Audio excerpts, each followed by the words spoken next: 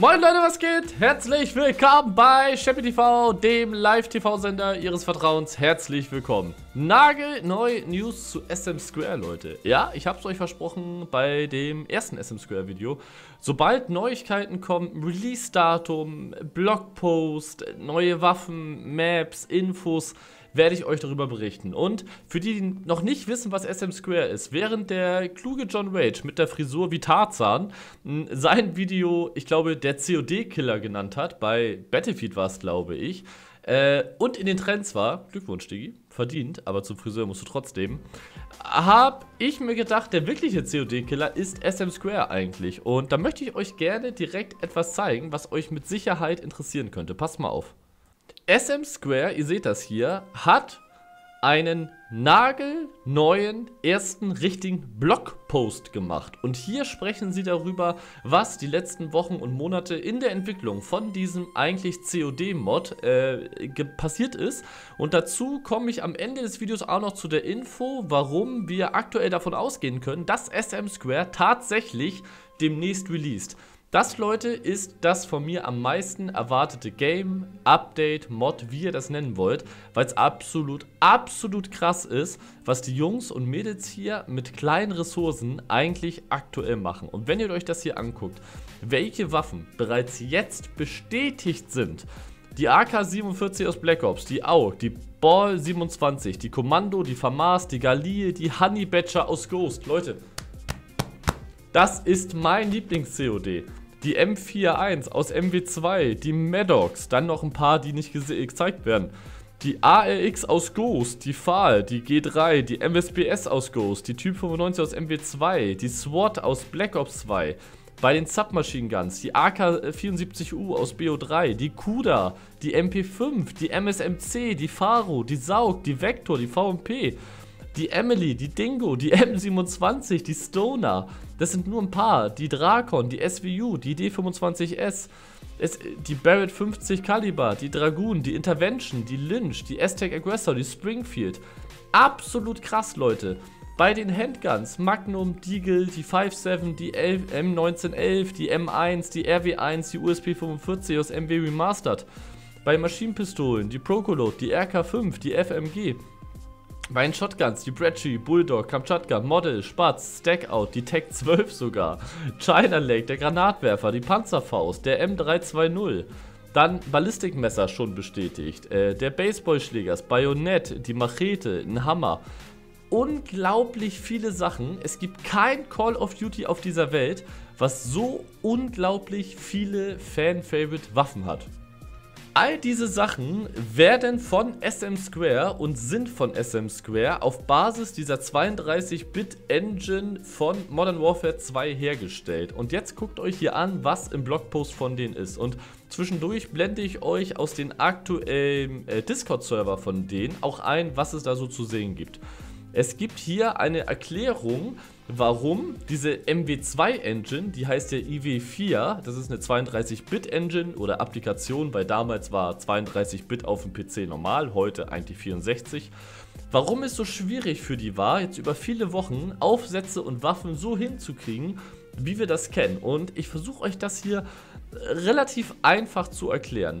Im Grunde ist es gar nicht so kompliziert. Früher ist diese 32-Bit-Applikation genommen worden. Die hat aber eben auch nur 4 äh, Megabyte RAM-Speicher gehabt. Äh, 4 GB RAM-Speicher.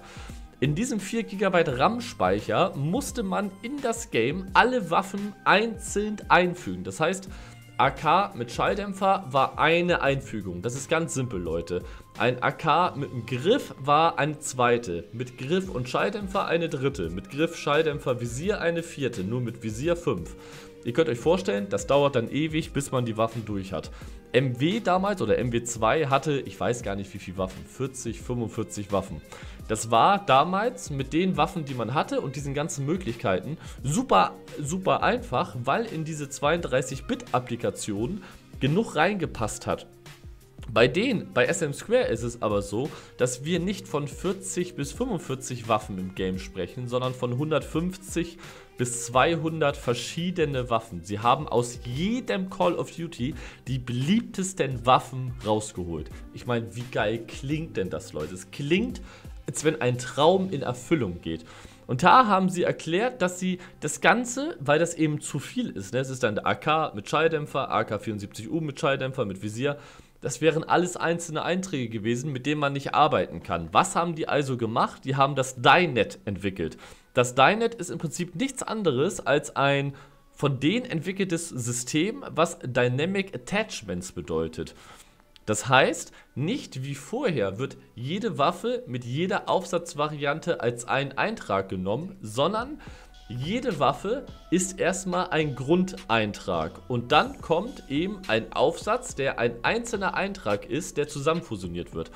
Das klingt vielleicht ein bisschen chaotisch. Ich selber bin auch kein Entwickler, aber ich habe es mir 18 Mal durchgelesen. Ich glaube, das ist die beste Erklärung, die ich dafür geben kann. Das haben die jetzt über Monate, über Monate so gemacht, so dass sie jetzt an dem Punkt sind, dass sie sagen, wir Leute haben es geschafft, die Aufsätze Waffen in unser eigenes Dynet-System so reinzubringen, dass sie funktionieren. Und dann gibt es hier noch ein paar Beispiele dazu. Dann seht ihr es hier zum Beispiel, es gibt auch einen FOV-Slider für den PC, der unabhängig von der Waffe ist. Und hier eins meiner Lieblingsbilder, die Honey Badger mit dem ACOG-Visier. Diese Honey Badger-Leute sieht absolut, absolut krass aus.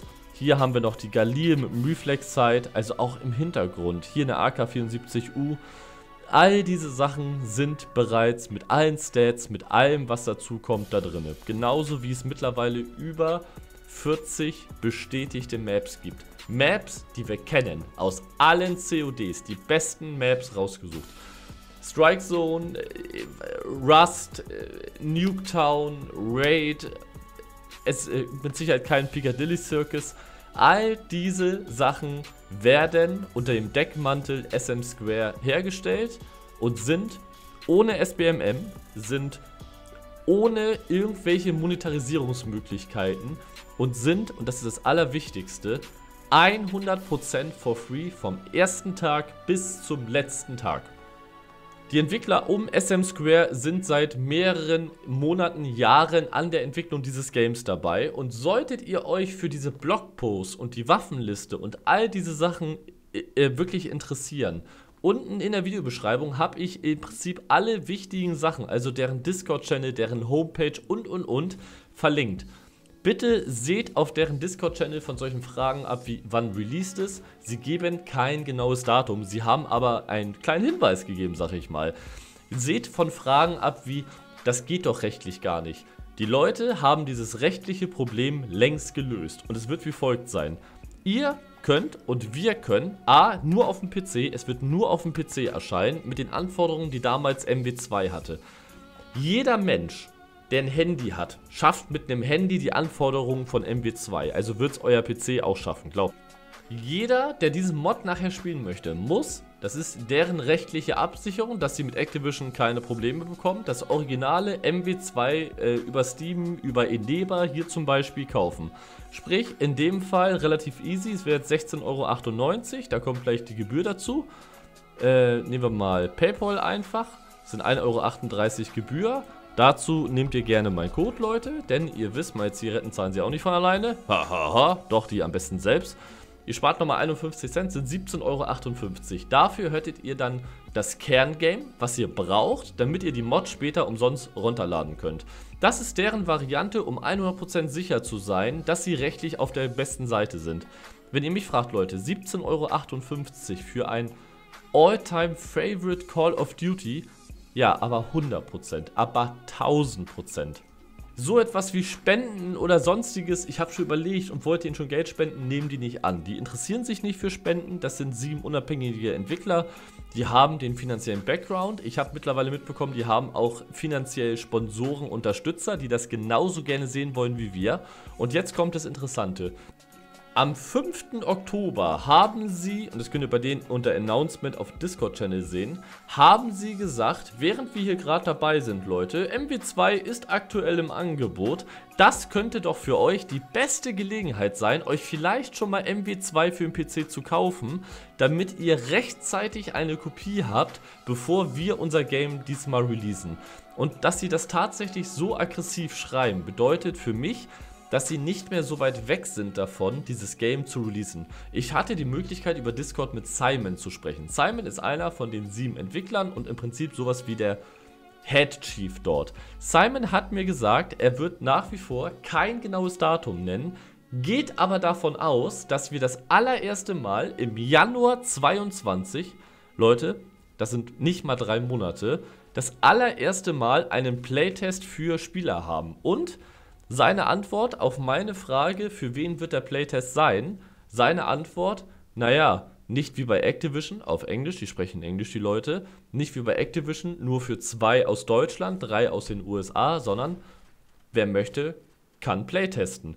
Das heißt, eine offene Alpha erwarte ich nach diesen Aussagen zum Januar hin. Und ich kann euch eins sagen, Leute, wenn wir auf der Suche nach einem wirklichen COD-Killer sind, ne, dann ist es dieses Game. Nicht Vanguard, nicht Battlefield, obwohl Battlefield Beta unglaublich gut war und unglaublich viel Spaß gemacht hat.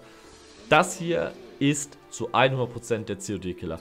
Wenn die das umgesetzt bekommen und wir astrein MW2 Feelings bekommen, ohne SBMM, mit Controller-Support, für die Leute, die jetzt auch wie ich mit Controller spielen wollen, Bombe. Und ganz ehrlich, viele von euch haben so Fragen wie, ja, Sheppy, was ist denn mit Anti-Cheat oder so? Ich weiß nichts über deren Anti-Cheat, ich weiß nur eins. Schlechter als das von Activision kann es gar nicht sein, denn Activision hat einfach keins. Mir kann niemand erzählen, dass Activision seit zwei Jahren ein Anti-Cheat-System hat, wenn in den letzten zwei Jahren über 800 800.000 Cheater gebannt worden sind, wovon 800.000 Cheater wieder zurückgekommen sind, weil Activision bis heute nicht verstanden hat, dass man sich in einem Free-to-Play-Game einfach nur eine neue E-Mail-Adresse machen kann. Und dann gab es jetzt diese, diese Gerüchte, dass es jetzt nur noch mit Handynummern geht. Wisst ihr, was es kostet, sich eine einmalige Handynummer online zu kaufen? Ich habe mal geguckt vor diesem Video heute. 69 Cent. Weltklasse Activision. Also Leute, ich freue mich sehr drauf. Ich hoffe, ich hoffe, dass dieses Projekt wirklich nachher so ist, wie wir uns das alle vorstellen. Es wird ein geiles Projekt. Ich, ich weiß gar nicht, wie man den Entwicklern dafür danken soll. Es ist im Prinzip das, was wir alle als Gaming-Community wollen. Checkt die Leute aus, unbedingt. Das sind richtig coole Typen. Ihr könnt jeden der Entwickler auf deren Discord-Channel zu fast jeder Zeit des Tages fragen. Und ihr seht immer, was die gerade machen. Steht immer MW2 etwas. Die sind also durchgängig jeden Tag an diesem Projekt am Arbeiten. Hoffe, euch haben die Infos gefallen. Wenn was Neues kommt, Ehrenwort von Chappy, versprochen, kriegt ihr Neues. Lasst gern Like nach oben da, Leute. Lasst gern ein Abo da. Küsschen.